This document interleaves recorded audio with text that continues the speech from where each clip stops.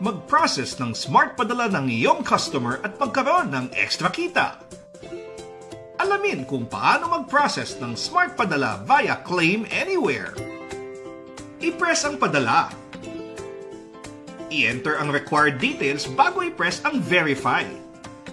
Kung registered na si Suki, i-press ang Proceed at abangan ang Step 8. Kung unregistered si Suki, i-press ang Register Customer i-type ang verification code na natanggap ni customer sa cellphone number na kanyang ibinigay at i-press ang next.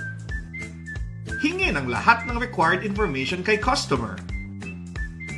Siguraduhin din na malinaw ang pagkakakuha ng picture ng valid ID at ni customer. I-check kung tama at kumpleto ang lahat ng details at i-press ang submit. Registered na si customer. I-press ang proceed para mag-process ang transaction i-type ang lahat ng required details. Sa claim option, piliin ang Claim Anywhere. I-check kung tama ang transaction details bago i-press ang Confirm. Success!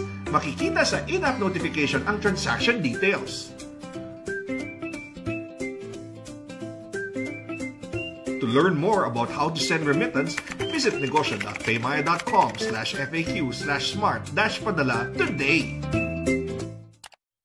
mag-process ng claim remittance ng iyong customer at magkaroon ng extra kita. Alamin kung paano mag-process ng claim. I-press ang claim. I-tap ang Smart Padala. I-enter ang required details bago i-press ang Next.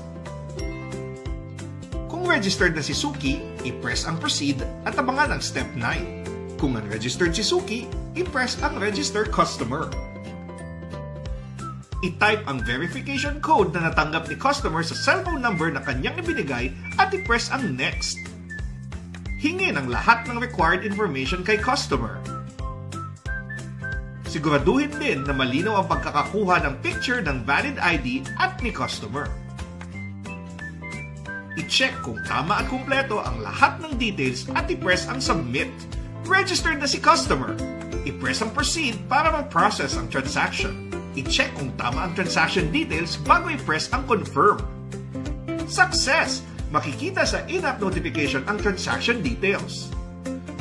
To learn more about how to claim remittance, visit negosyo.paymaya.com slash FAQ slash smart dash padala today.